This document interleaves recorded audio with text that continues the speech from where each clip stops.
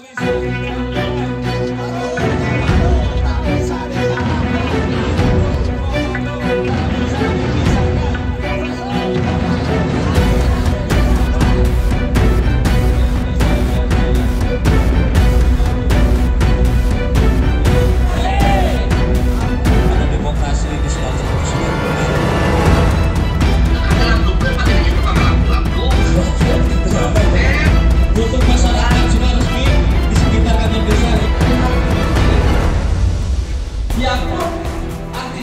Nah, waktu itu saya mengkritik eh, beliau eh, untuk bahwa seorang pemimpin itu tidak pantas berbicara kasar terus ujaran kebencian di sosial media karena sudah menjadi konsumsi publik dan mungkin posisi dia seorang kepala desa hari ini.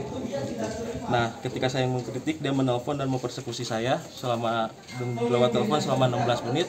Waktu itu saya sudah santun, sudah ini cuman dia malah mengajak beliau saya.